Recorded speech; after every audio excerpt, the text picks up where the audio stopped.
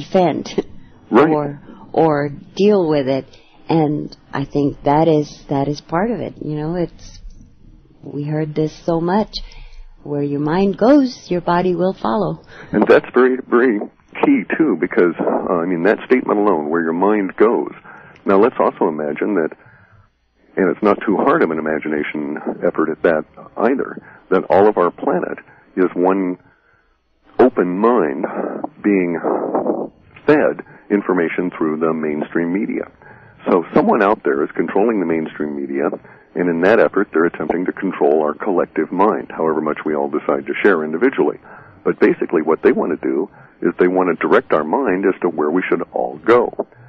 And as a result of that, if you disagree with it, there's many different approaches to disagreeing with uh, the mainstream media, including just turning it off and never listening to it. But then there's the, also the other approaches of being able to use what is released in the mainstream media as a guide to where they would like you to go.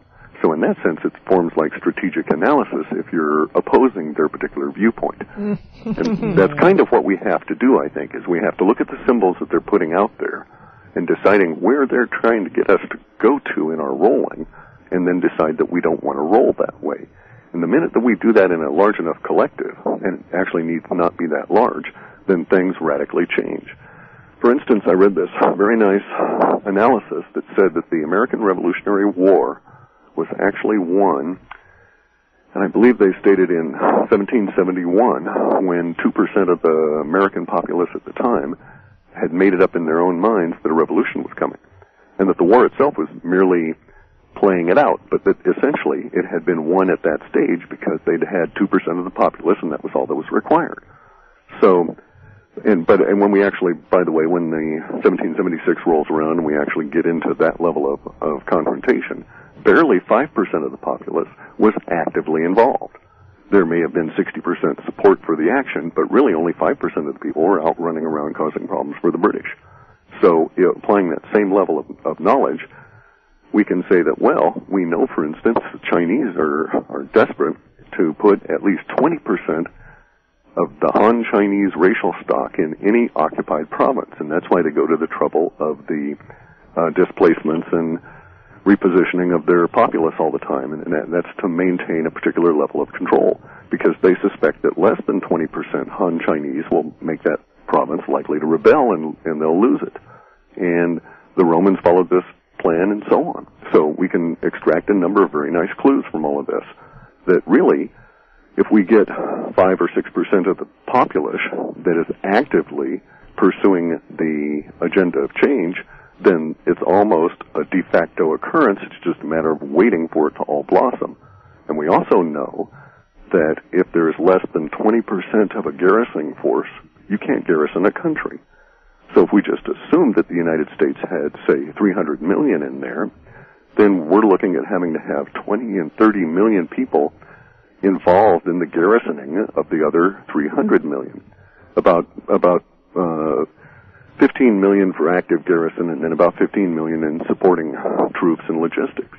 And so we, the idea that, for instance, that, um, I'm sure you'll see internet sites where they say, basically, if you read through them, it says, worry, worry, be afraid, 22,000 U.S. troops are going to be brought back in full battle gear, ready to patrol the United States and clamp down on all of you people that the government doesn't like.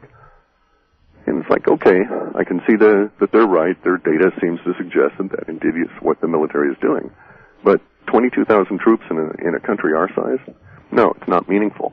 Uh, in the size of Iraq, it wasn't even really meaningful. We didn't have anywhere near the number of troops on the ground for a long time to control the situation.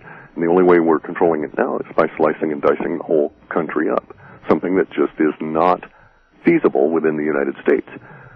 So the idea that we're going to end up with a occupying force of United States soldiers and a weird kind of um, take on fascism, there it may indeed be the plan of the powers that be, but we can also state flat out that unless the populace is actively goaded in through their their mental perception into fear, it's not going to work. That is totally key. Because we're seeing signs of it already, you know, in little bits and pieces there that it's one of the symbols. I think it's one of the clues of what they want. They want to instill a greater amount of fear because it seems that that is what best controls large numbers of people. Sure. And, and the And individual is not controlled by external forces, but only by the emotional load on their own mind. And so they try and keep you rattled and unsure, semi-hypnotized, and, and really falling into certain negative emotions. And they use, uh, patriotism, uh, spectacles, in the form of, you know, the big NASCAR races or big football games, that sort of thing, and the fear mode of, oh, oh be afraid, better watch out, we're going to have 3,000 battle-hardened troops here in full battle-rattle gear, and you hear all these nasty words associated with it, basically saying, watch out and be afraid.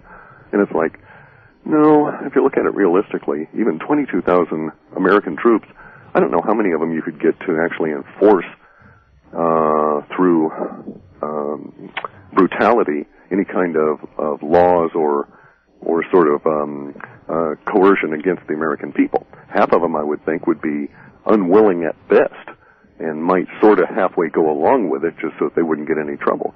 But even if you had 22,000 of them intent on on being the the nastiest uh, fascists anybody had ever seen, all that really does is precipitate the point where several millions of people decide that's enough and we stop doing this sort of thing. Just like Gandhi said, it's not possible to govern a country of any size without the consent of the governed. Hmm. So the greater the fear throughout the masses, the less resources it takes to do to the next govern. move. Yes, and we see this constantly. The if you wanted to do a sweep, which we do all the time, of government websites, the amount of words that that are into the bespoke fear category, which includes perhaps I want to say maybe 17, 18,000 actual derivatives in English, uh, is way up in all of the government sites. And if you notice, we have an entirely different tone in quote leadership than we had, say, in the previous depression. If you were to go back and analyze all of the speeches that came out of FDR, the language he used was calming, attempting to get everybody to cooperate. So it was in a calming, cooperative vein. Whereas all the language out of Bush is hurry, hurry, fear, fear, hurry, hurry, fear, fear. And it's been that way for these last eight years. A decidedly different tone than what we had in the 30s. So that we know that we're dealing with a different set of circumstances and our leaders, quote, our leaders are being pushed into different kinds of control mechanisms than we'd seen before. Hmm. We see a lot of this in our language work because basically that's all we do is compare emotions that are coming out in various different forms on the internet. And it's actually rather shocking to see our, our government and officialdom trying actively to induce fear in the populace. And it gets even worse than that because during this last, quote, bailout, or the first one here in September, when they were really pushing it, there were the threats to the, not only to the populace, oh, be afraid, we don't know what's coming, unprecedented, you know, all of this nasty language about the economics, but they even took it so far as to try and impress on Congress people, do it or, or, uh, you know, be afraid basically that we're going to go ahead and declare martial law. And this was prior to the elections and the ramifications of which would have been entirely unknown. So, not only is the fear language being used on the populace, it's also being used on the popular representatives, however much they might be part of the mainstream power elite is immaterial. The fact is that someone up there thinks they have to control those fellows with fear language as well, which is another indication really that everything's getting out of hand. Mm. And that didn't seem to bother anybody too much, other than a couple of them that testified about that. Correct. Very interesting. Most of them, I think, are in the uh, what what I would call the permanent political elite class. Right. So we're really at that stage of, say, the Roman Empire, where the Senate, which had been a body that just in essence elevated people out of the lower house, um, out of the plebeian status temporarily while they were senators, finally became an entitled, privileged position. We see this as the fourth generation, as you know, Caroline Kennedy is going to take over uh, Hillary Clinton's seat, et cetera, that sort of thing.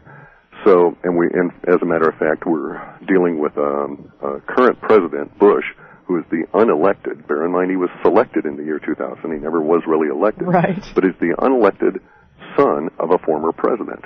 That's the same situation as they have in North Korea, with uh, the various, and also we've seen it in other places where we've had dictatorship like that. So there's no real difference between the dictatorship in the U.S. and the dictatorship in any other country, except for the sheer size of the situation that we're dealing with. And our political elite class has to be viewed that way. So it really starts coming down to some of the other broader themes that we're seeing in our data, like this the burgeoning uh, movement that we're calling the planetary populist movement. Oh, that's a good one. Let's stop right there and take a break, real quick break, and then we can continue that without interrupting you. Okay, sounds You're good. listening to Clif, halfpasthuman.com on Beyond the Ordinary, and we shall be back.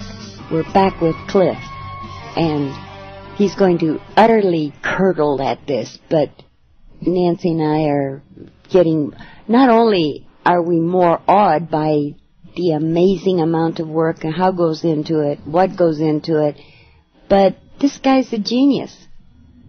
Okay, Absolutely. Okay, now we'll, we'll just leave that and come Uh, up. yep, yep. Okay, so it's come up, and we've laid that to rest, and, Yeah. and we'll just go on. yeah. you know, and, and the thing is that um, I'm really anti elite down to a level that would that would shock people.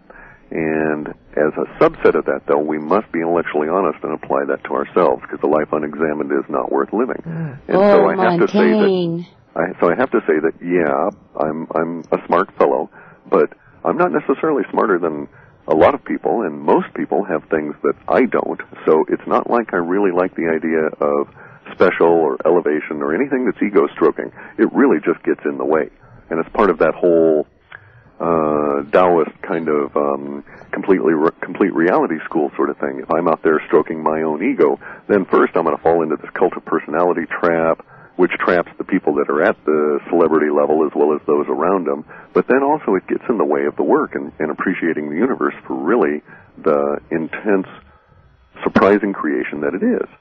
I don't really just don't want to project that stuff on on um, myself, and I also have to be real careful not to put it into my work personal views could very easily be, and I'm sure they are involved in the interpretation, but they could be much more prominent than they are now. But getting back to our Well, let me tell you though, Yeah. uh, to me, genius is not only having taken the time to read, to study, to know, to learn, and continuously do so, but the ability to put many abstract things or seemingly unrelated things together to form a bigger picture, which is, to me, what we have to do in self-examination. It's like Nancy was talking about earlier, and not go, ooh, this is bad. You Yeah. just look at it and say, oh, okay, is. Yeah. this something